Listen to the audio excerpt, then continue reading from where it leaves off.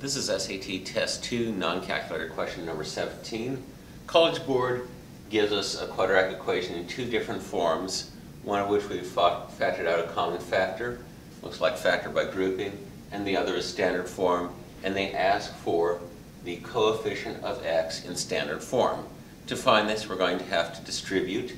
So let's distribute 2x times 3x plus 5 plus 3 times 3x plus 5. And to distribute, I'm going to move, multiply the 2x times 3x and by the 5. So 2x times 3x is 6x squared. 2x times 5 is plus 10x. 3 times 3x is 9x. 3 times 5 is 15.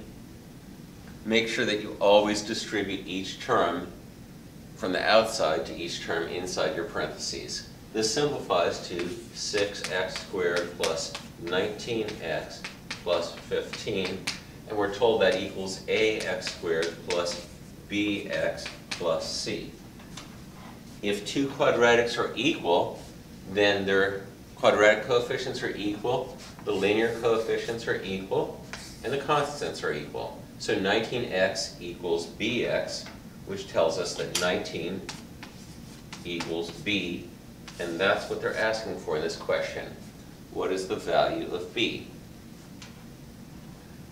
Distributing polynomials and FOIL are two important skills for the SAT and for your future math career. Make sure that you're ready for those and come back soon for my next math video. With math, there's always more.